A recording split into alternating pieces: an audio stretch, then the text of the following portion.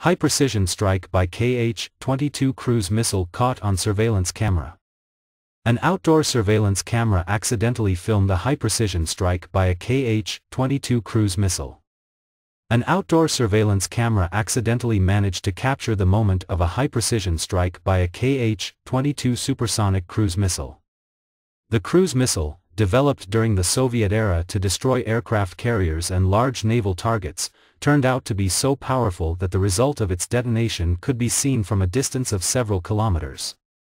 On the presented video frames, you can see the moment of the KH-22 supersonic cruise missile approaching the target and the direct application of the last high-precision strike.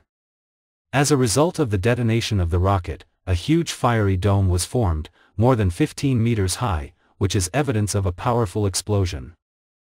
Subsequently, at the site of the strike, a huge funnel was also discovered, indicating the fact that as a result of only the kinetic impact of a multi-ton rocket flying at a speed of about 4 Mach, and the detonation of the warhead, such a rocket is capable of inflicting colossal damage to the enemy.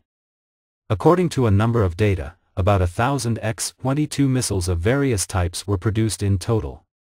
Moreover, despite the fact that the missile was put into service more than 50 years ago, today it is still a highly effective weapon capable of inflicting colossal damage to land and sea facilities, including destroying an aircraft carrier.